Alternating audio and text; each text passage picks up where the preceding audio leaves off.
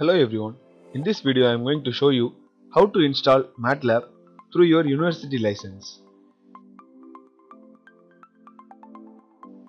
First copy the link in the description and paste it in the address bar.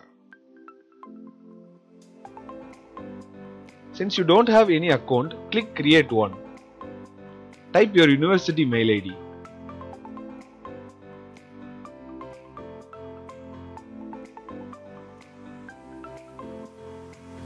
Select your profession and click create. Now a verification mail has been sent to your email ID. You can open your mail ID and you can click the verify your mail icon.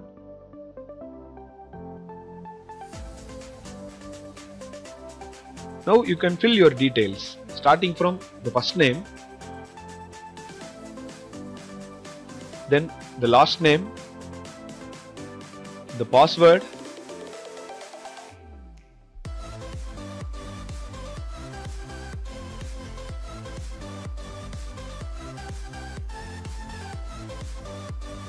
then select your profession.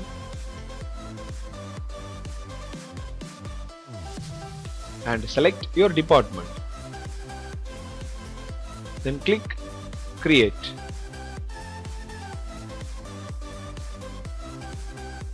This is your license number. You can click the download option.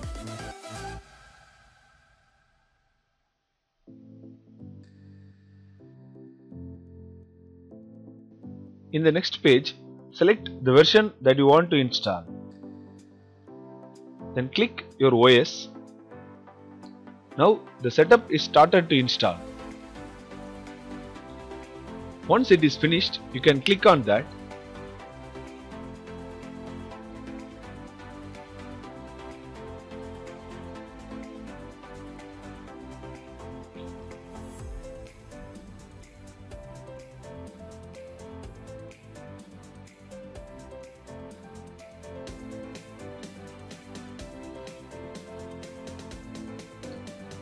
type your email ID. That is the official mail ID.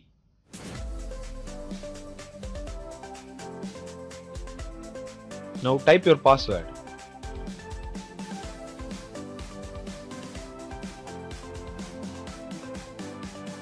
Click next.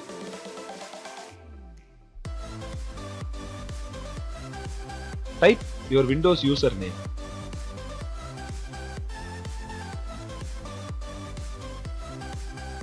Click next. In this page you can select the toolboxes that you want to install. If you don't need any special toolbox you can click next and you can add the toolboxes in your dictionary. Then click next and begin install. Now the installation is started.